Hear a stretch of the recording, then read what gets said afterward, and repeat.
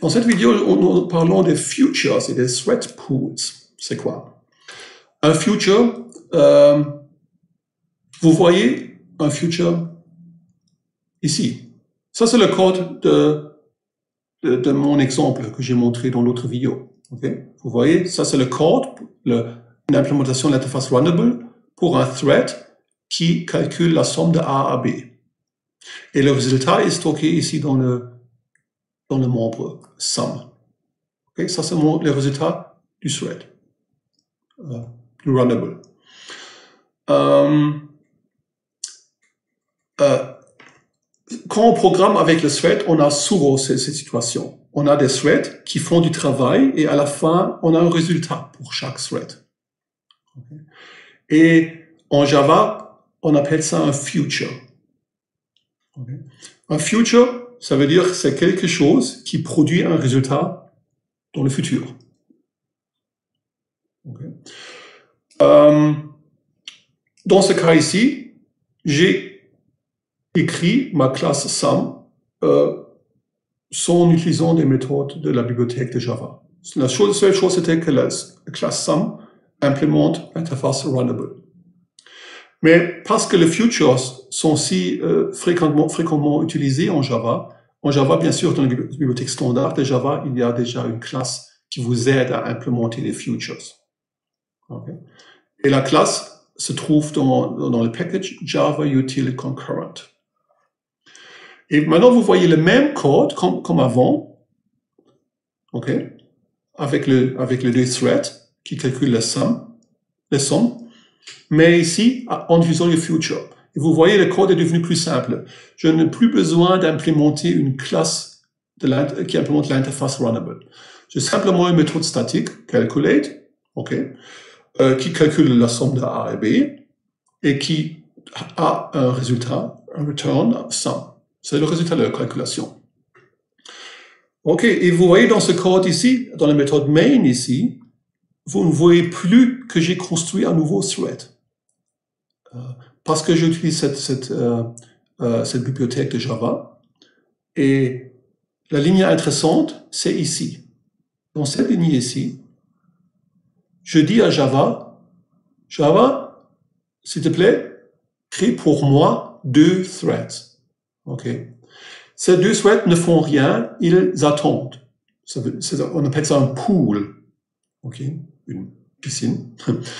Euh, ça veut dire qu'on a un grand pool, une grande piscine, et les deux threads nagent dans, cette piscine et attendent. Ils ne font rien. Mais euh, je peux leur donner du travail. Et vous voyez ça dans les deux lignes ici, là et là. Je leur donne deux travails. On fait ça avec la méthode submit.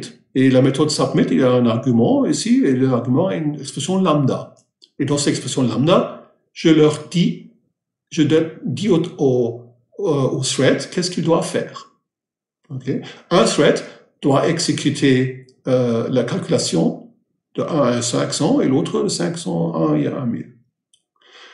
Et le résultat, oui, maintenant vous devez faire attention. Euh, je ne veux pas directement un résultat de submit. Je veux que les threads font ça. Ok Ça veut dire que mon résultat n'est pas le résultat de la, somme de 1 à 5000. Mon résultat est un future de type euh, euh, integer. Ça veut dire ça représente un résultat que j'obtiens en quelques minutes, en quelques secondes, dans le futur. Maintenant, ça veut dire que j'ai deux futures. Et les deux futures sont exécutés. Les deux threads maintenant travaillent. Ok? Ils nagent plus dans la piscine. Maintenant, ils, font, ils exécutent le code que, que, je, donne, je donnais avec submit. Euh, bien sûr, à un moment, je veux avoir le résultat final. Ça veut dire, je fais un F1 get pour obtenir le résultat du premier thread et F2 get pour obtenir le résultat du deuxième thread. Et puis, je peux, euh, obtenir mon résultat. OK? Euh, voilà. Et le get, qu'est-ce qu'il fait? Le get attend que le futur a fini à, calculer le résultat. Et comme j'ai déjà dit, euh, en Java, quand on attend, on a toujours la possibilité d'être interrompu par quelque chose. Et pour ces raisons-là, vous voyez le main à le interrupted exception, encore une fois ici. Vous devez accepter ça, c'est Java. OK. Et à la fin, quand j'ai fini mon travail, je dis à la piscine, OK, maintenant, vous pouvez euh, fermer. OK? Ça veut dire que les deux threads sont maintenant terminés euh, et euh, je peux faire d'autres choses. comment ça marche avec les thread pools? Comme j'ai déjà dit, un thread pool est un groupe de threads qui attend jusqu'à qu'on donne du travail au pool. Hein. Et dans cet exemple-là, j'ai créé un thread pool avec deux threads. Bien sûr, je pourrais aussi créer un thread pool avec 10 threads ou 100 threads. Euh, un autre exemple, c'est plus, facile à comprendre, les threads dans un thread pool sont comme les cuisiniers, les chefs dans, une cuisine, dans un restaurant. Ils attendent jusqu'on leur donne du travail. Okay? Et qui leur donne le travail, c'est nous, okay? avec le submit. Euh, vous pouvez aussi donner plus, de travail euh, à un thread pool. J'ai créé un thread pool avec deux threads, mais c'est parfaitement possible que vous donnez au thread pool trois choses à faire, quatre ou cinq choses. Mais comme vous avez seulement deux, threads, seulement deux de ces, de ces travaux sont exécutés en parallèle. Ça veut dire que quand je donne trois euh, travaux à faire, trois jobs, on dit en, anglais. Euh, le premier thread va commencer avec le premier job, le deuxième fait, commence avec le deuxième job, et le, troisième job attend. OK. Euh, euh, on attend, et quand un thread a terminé son travail, disons le premier thread ou le deuxième thread, le thread va regarder dans la liste des jobs qui sont encore à faire et va prendre le job suivant. OK?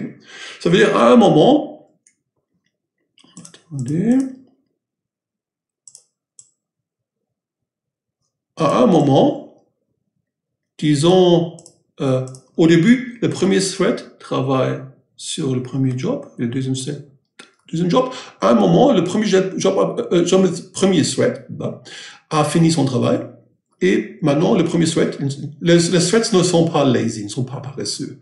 Le premier thread va prendre le job suivant.